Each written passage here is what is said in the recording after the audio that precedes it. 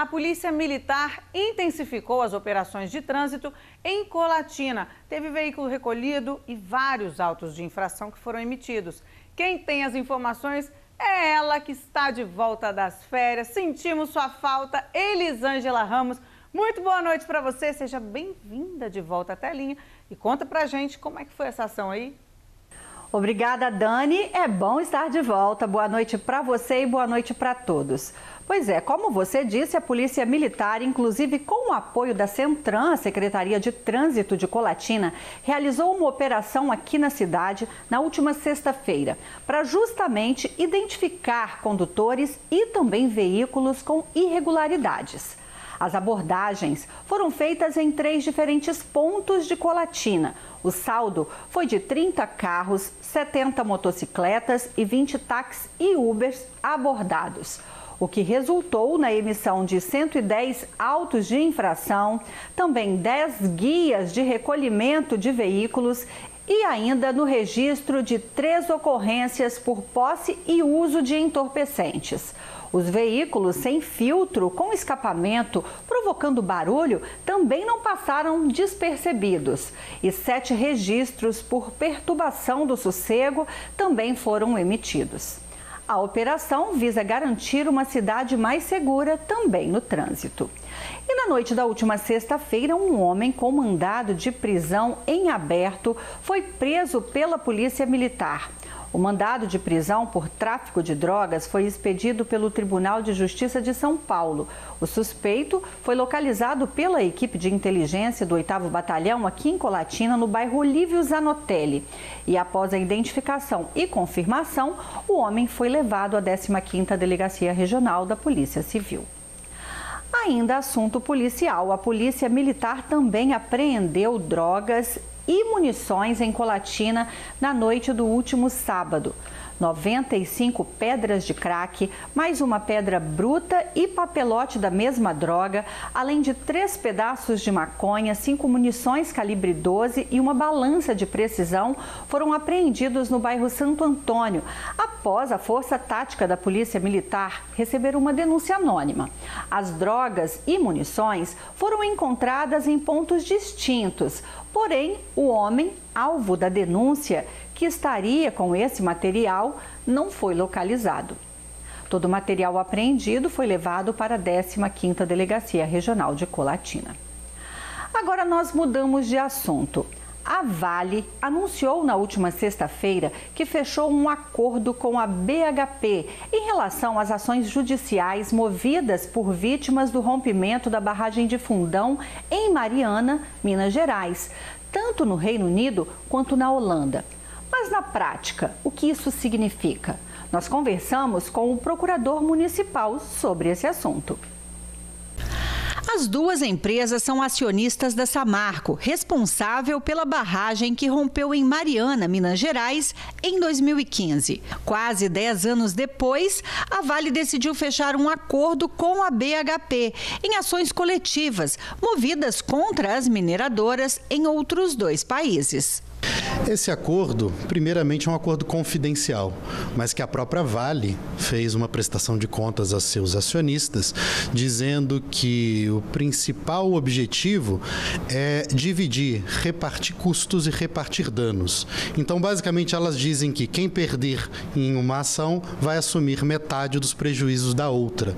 Então, é uma, um acordo que é tão somente entre elas. Isso não interfere nos direitos que estão sendo perseguidos no Reino Unido, são mais de 700 mil atingidos, reivindicando aproximadamente 230 bilhões em indenizações. E caso as ações concluam que a BHP tem responsabilidade nos processos, o acordo define que a responsabilidade será dividida igualmente entre as duas empresas. Na ação da Inglaterra, que é a mais antiga, são mais de 700 mil autores, divididos ali entre pessoas físicas, pessoas pessoas jurídicas, instituições religiosas, entidades representativas de classe e, sobretudo, aqueles atingidos, as pessoas físicas que tiveram suas tiveram que mudar de casa, tiveram seu ganha-pão tomado e tiveram muitas vezes vitimados a sua própria saúde. Então, são mais de 700 mil autores lá na ação de Londres, eles vão continuar. E a Vale também entrou para o Banco dos Réus em ações movidas na Holanda, em nome de mais de 78 mil requerentes que afirmam terem sido afetados pelo rompimento da barragem. E o mesmo acordo também será aplicado por lá. Por uma estratégia do escritório de Londres, Pogush Goodhead, essa ação também foi proposta na Holanda, onde é uma das bases, um dos das sedes da empresa. Lá a, a Vale é a principal requerida, a ré.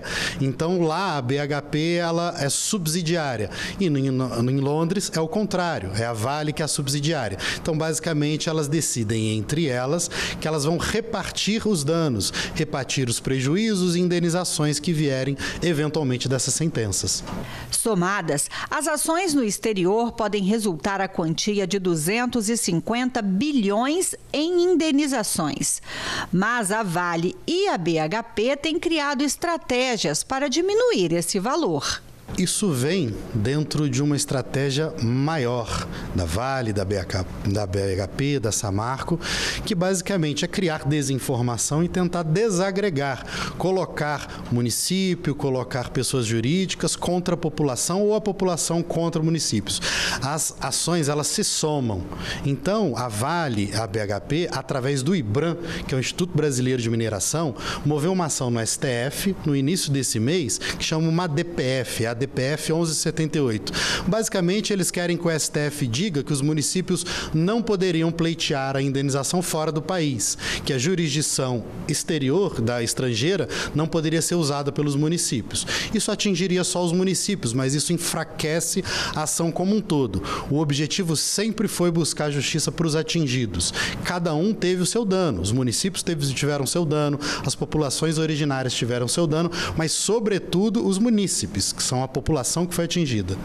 O processo judicial que corre no Reino Unido sobre o rompimento da barragem da Samarco em Mariana, onde a lama, além de destruir comunidades locais, ainda contaminou o Rio Doce e afetou a população de várias outras cidades ribeirinhas de Minas Gerais e do Espírito Santo, tem início em outubro e conclusão em 2025. A formatação do julgamento no Reino Unido é diferente, diferente do nosso, mas eles têm pontos muito mais positivos quando o assunto é a solução do problema. Então lá a decisão está marcada para começar em outubro. É como se fosse uma grande audiência de conclusão. E basicamente a solução, né, todo o perfil da sentença, ela está prevista para janeiro. Ali que vai dizer o quanto vai ser ser pago, em quanto tempo vai ser pago e se realmente em que nível a responsabilidade das empresas atingiu. Reforçando então, esse acordo firmado entre a Vale e a BHP não muda nada para os autores das ações, tanto da Inglaterra quanto da Holanda. Por hoje é só. Uma ótima semana para todos e até a próxima.